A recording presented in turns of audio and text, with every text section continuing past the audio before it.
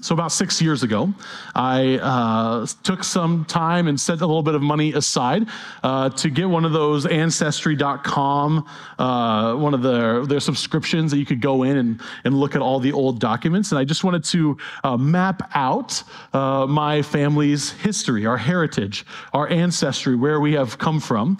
And then a few years later, just a couple years ago, uh, I kind of concluded all of that by getting one of those 23andMe little like, like the one of the, it's like it's actually kind of gross, uh, but you get the little tube and then you have to like spit in it and you send them your spit and then they give it to all the law enforcement personnel so that you know you can't commit any more crimes. Uh, but uh, then they also take it and they tell you all sorts of things. Some things that I think are kind of interesting, uh, like where your family has come from, where your mix of DNA is similar to those around the world, and also some information that I think is maybe a little bit of, of hokum, where they say you're more likely to lose your hair and that that might have been true, but you know, more, you're more likely to like have darker eyes or these kinds of things. I don't know all about all that. What's interesting though is when you get that ancestry data and it tells you, hey, you share DNA with people from historically from these areas of the world, and it did confirm, in fact, that I'm just just a white guy. I'm just that's just how it is. Uh, but I found it kind of confirmed what I had already done the work on that both sides of my family, there's a little bit of German, a little bit of like UK and Ireland area. Uh, but, and, and that's a lot less important to me. What I think is interesting is the little tidbits and little stories that you learn along the way. So, both sides of my family, both my mother and father's side, uh, there is some Swiss German ancestry where uh, families immigrated from German speaking Switzerland and took roots here in the United States, uh, some earlier, some a little bit later, some fairly recently. And uh, on both sides, uh, they came over and they wanted to just, uh, uh, they wanted to Americanize as quick as they could. So there was one family that had a bunch of kids, and uh, they immigrated uh, north of Philadelphia, to the north of Philadelphia. And if you go to the cemetery north of Philadelphia, I can't remember what cemetery it is, but you'll find the plot for my family, and it's the Keiklein family from uh, Switzerland, German speakers. But some of the kids changed their last name from Keiklein to Keithline to be sound more American, to sound more British. And so you have mixed in together some Keikleins and some Keithlines. Something similar happened to the other side of my family. They were, their name was Hablutzel. They came over from uh, German speaking Switzerland and immigrated quickly to uh, Missouri. And as you might imagine, maybe the Missourians weren't super excited about having some German come in. So uh, they quickly changed name as well. And they thought to themselves, you know what? What's the most American kind of name we could take on? And so I kid you not, they changed their name to Yankee. They're like, we're just good Americans.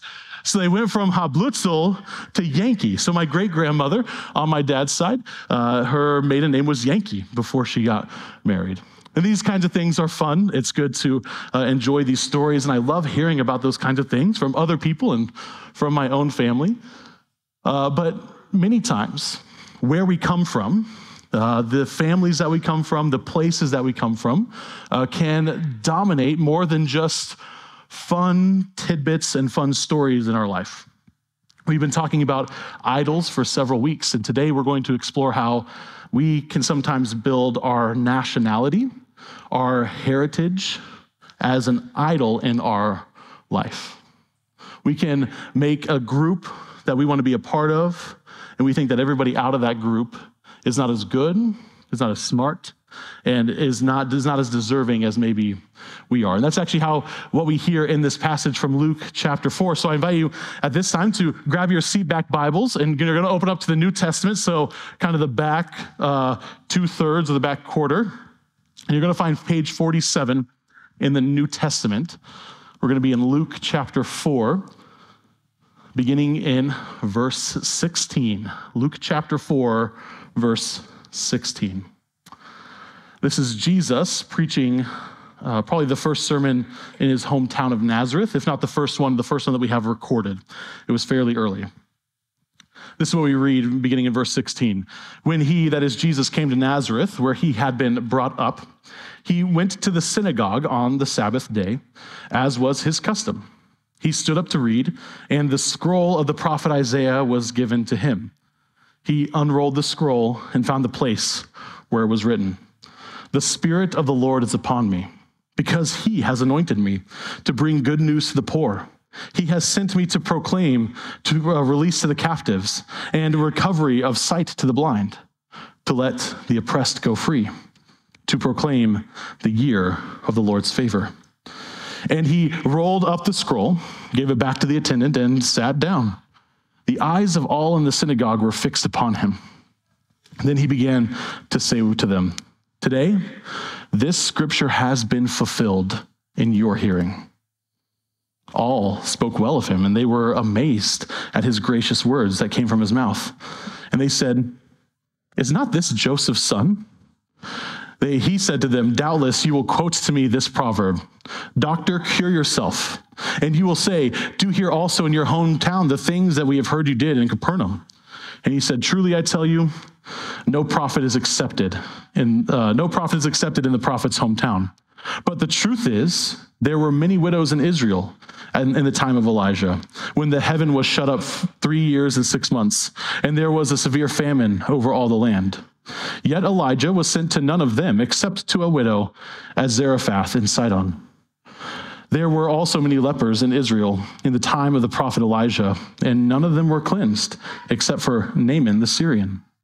When they heard this, all in the synagogue were filled with rage. They got up and drove him out of the town and led him to the brow of the hill on which their town was built, so that they may hurl him off the cliff.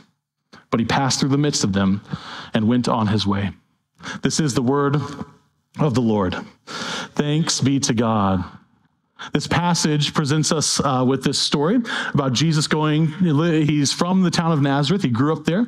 Uh, so everyone knows him at that point in the ancient Near East and in the ancient world. There were no big cities. Everything was fairly small. Even the big cities would be, uh, by our estimation, fairly small, relatively small.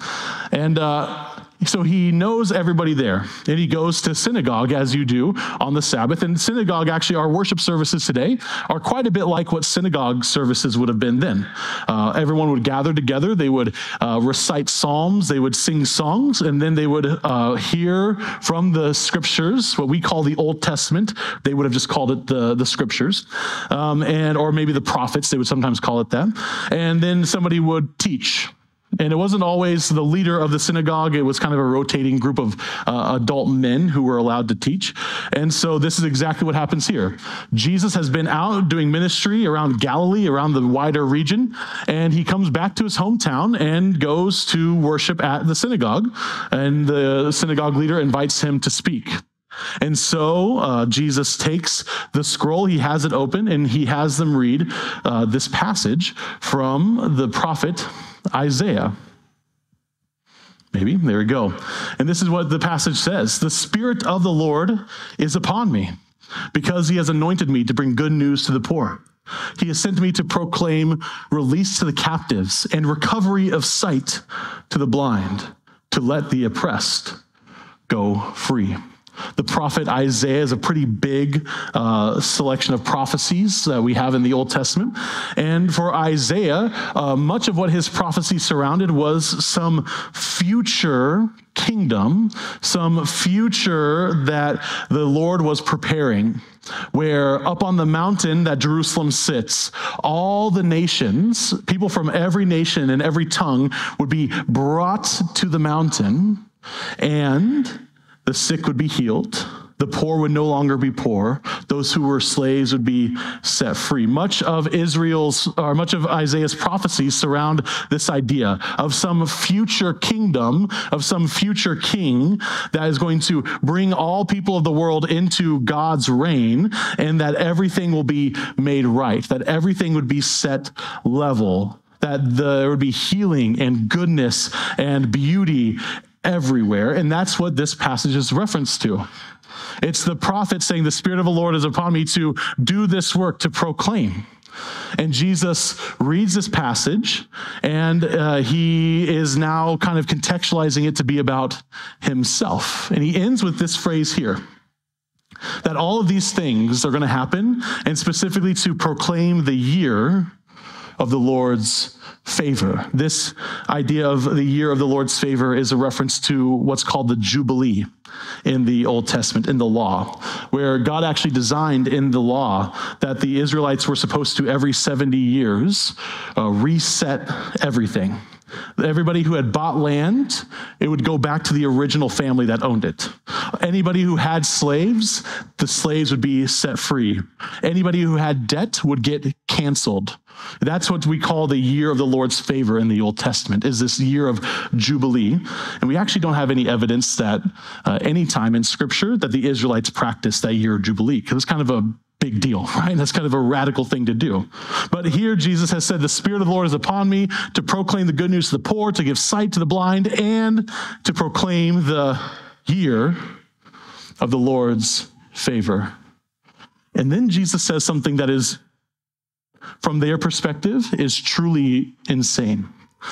He rolled back the scroll gave it back to the attendant, and sat down. And that's what they would have done. Uh, the congregation would have been standing, and then the teacher would have sat. So someday we'll have to switch that up and just remove all the chairs in here. Um, the eyes of all the synagogue were fixed upon him. He was about to teach. And this is what he says Then he began to say to them, Today, this scripture has been fulfilled in your hearing of it he opens up the scroll and reads this portion about this thing that God is doing, that everything's going to be made right, that the Jubilee is coming, that there's going to be this kind of eternal goodness and eternal Jubilee. And he sits down and says, Today, this passage is fulfilled in your hearing. As you have heard it, it has been done.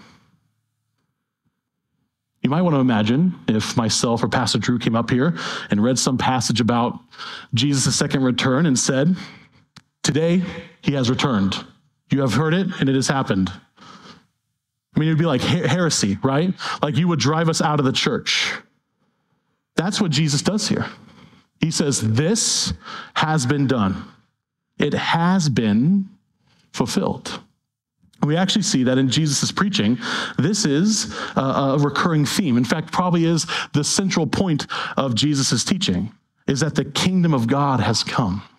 He says the kingdom is at hand, which means it's within reach. Jesus came to heal and to proclaim the good news of the kingdom of God, to die on our behalf and to be resurrected to welcome us into the kingdom. And he's saying, This is fulfilled. This this vision, this prophecy of a kingdom where all nations, all tongues, all tribes will be invited to join the king, the Messiah, is fulfilled in the person of Jesus. We see that, we think, amen and amen. We believe this is true. They did not quite have the same response all spoke well of him and were amazed at the gracious words that come from his mouth. So at first they're like, wow, this guy's really well spoken. Man, this is amazing. And they asked this question Is not this Joseph's son? And at first, maybe this is a question of truly amazement. Maybe they're like, wow, this is the carpenter's son. And Jesus at this time, uh, before he began his public ministry, was a carpenter. He was a blue collar worker, worked with his hands. He built things. Uh, probably uh, carpenter, we don't know if it exactly meant wood or stone or exactly what it meant, but essentially we might think of it as like a contractor. Somebody who builds houses and barns and sheds and these kinds of things. This is what he did. and here he is, invited to speak, and he speaks eloquently. He speaks amazing words. And maybe at first this question is wow, this is Joseph's son. He's normal. He's like us. And look at him speak. Look at how well spoken he is. But soon, as we heard in the rest of this passage, that question takes on a little bit of a different tone. Because as Jesus continues to challenge them, which we'll get to here in a moment, they begin to ask the question maybe not so much, is this uh, Joseph's son? Maybe it's, is this Joseph's son? This is a small town in the ancient world. They would have probably heard about the mysterious nature of Jesus' conception. That he was conceived before Mary and Joseph were married, that there were questions whether or not Jesus was actually Joseph's son. And you might hear the question Is this not Joseph's son? We don't know. As Jesus began to challenge them, suddenly this idea of where he came from turned into something that they could use against him, turns into something that they use to separate him from them. And they eventually drive him out of the synagogue and try to throw him off a cliff to kill him. This was part of the stoning process. If you had a cliff, you would actually throw them off the cliff and then you would throw stones down on them. So they got so mad at him because of his challenge, because of this question of, of where he came from and how could he talk to us like this, they got so mad that they wanted to commit murder. You see, in this moment, Jesus' heritage was used against him. And he actually turns the question back on them by referencing a couple of um, a couple of stories from the Old Testament. We'll drop down here. Uh, as he talks about this, he's, he's going to reference First and Second Kings, a guy by the name of Elijah and Elisha. And this is what he says: The truth is, there were many widows in Israel at the time of Elijah, this ancient prophet, when the heaven was shut up three years and six months, and there was a severe famine over all the land. Yet Elijah was sent to none of them except to a widow at Zarephath in Sidon. So during this time in ancient Israel's history, there was a famine for three and a half years, and there was no grain and no water, no oil, because there were no olives, there was nothing. And, and Elijah gets told by God to go visit this widow in Sidon, and this widow is a Gentile. This widow is not a follower of Yahweh. This widow is not part of the covenant community, the family of God. Yet God sends Elijah there, and it, there's a miracle that's performed there. Elijah knocks on the door. He says, "Ma'am, can I stay with you?" And uh, the widow says, "Sir, I have no, I have no grain. I have no oil. I can't make bread. I can't serve you. I can't be hospitable to you because I can't feed you." And he said, "Let me in, and there will be enough." And as she begins to pour out the oil into a container, the container fills up. And then another container fills up. And she has this endless supply of oil as she keeps pouring and filling up jars and jars and jars. Same thing is true with the grain that she has. As she pours it into a new container, it fills up container after container after container. And she has jars and jars and jars of grain. Where there was a famine in Israel, the Lord sent Elijah to this non Jewish person, this non Israelite, this Gentile, to bring about abundance. It's a lot like that image of the kingdom, where all people are going to come and there's going to be no more hunger and no more thirst and no more violence and no more war.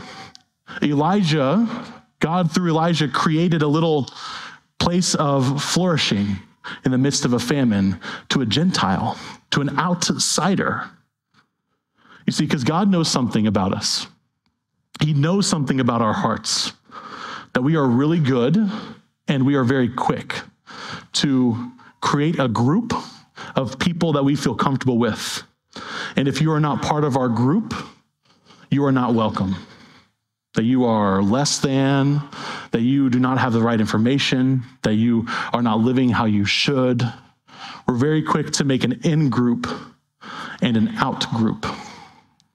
And for Jesus, the question of his heritage came up Is this Joseph's son? And sometimes we do this.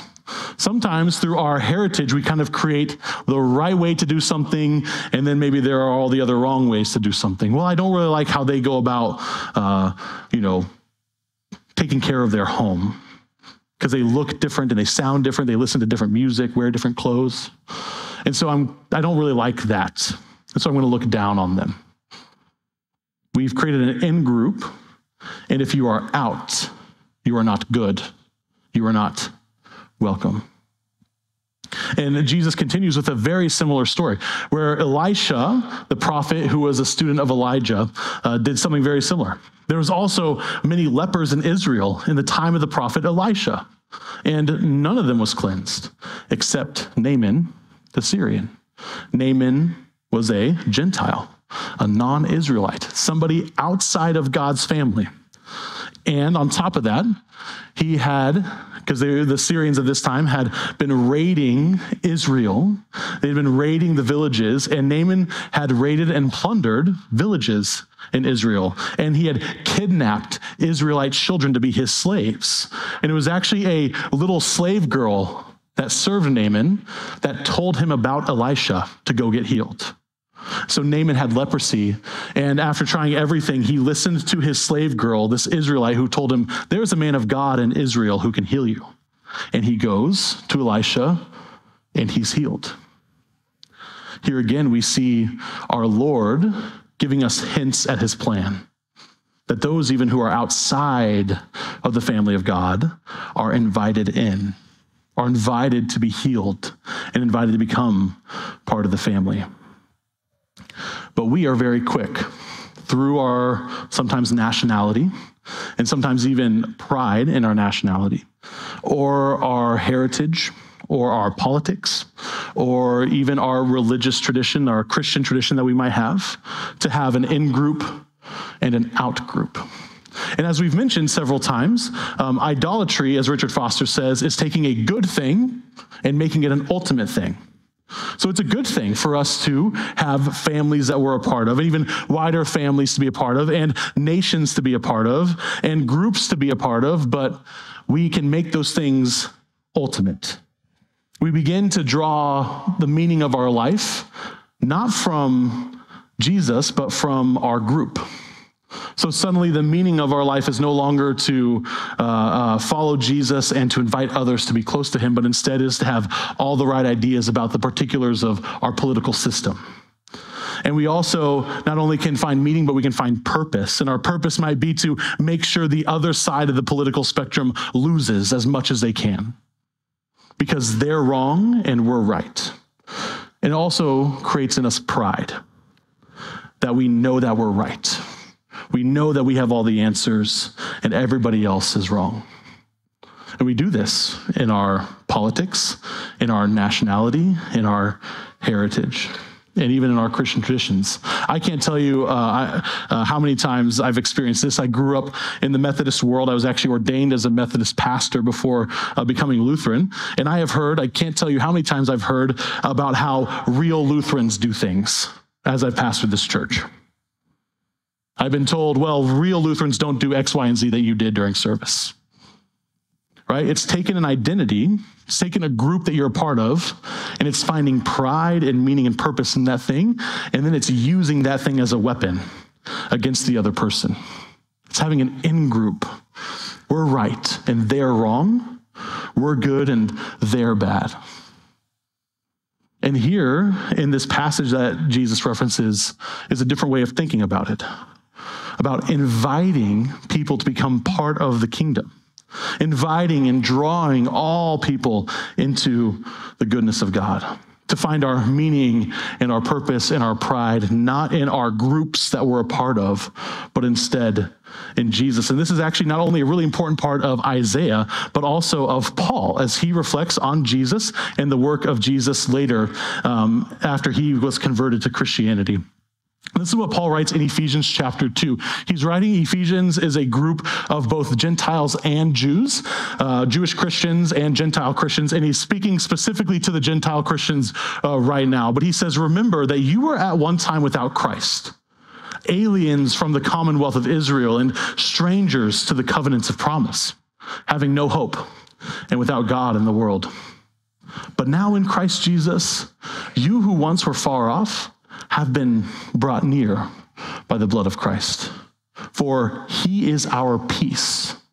In his flesh, he has made both groups into one and has broken down the dividing wall that is the hostility between us.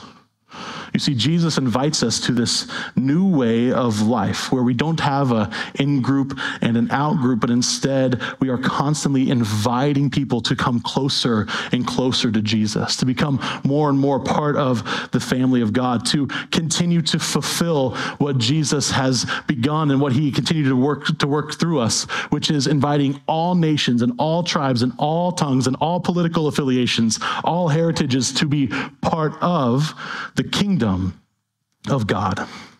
Instead of separating and pushing It's invitation and drawing close, proclaiming the good news to the poor and also those who are poor in spirit, those who are lonely and afraid, about giving sight to the blind, and not only by physically healing, but also by proclaiming the good news of Jesus to people who don't know Jesus, who haven't heard the good news, by inviting people into the family so they may have healing and hope and goodness. This is what we are invited to be a part of to proclaim the good news that God is bringing us all into his kingdom. And we get meaning. Our meaning is not in our affiliation with a particular heritage or political party or nationality, but our meaning is that we are a child of God. And those who are in Christ are also children of God, no matter all those other groups that they're a part of. We find purpose in continuing to proclaim this good news. And instead of pride, we have humility.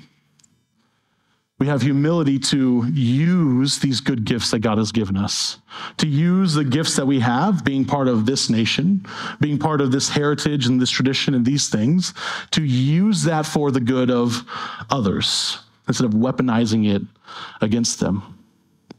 Because in us hearing about this good news to the poor, the sight to the blind, the, the kingdom is at hand, it is fulfilled because Jesus has fulfilled it.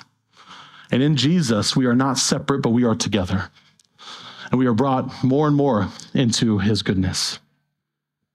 This is the good news uh, that Jesus Christ has given us.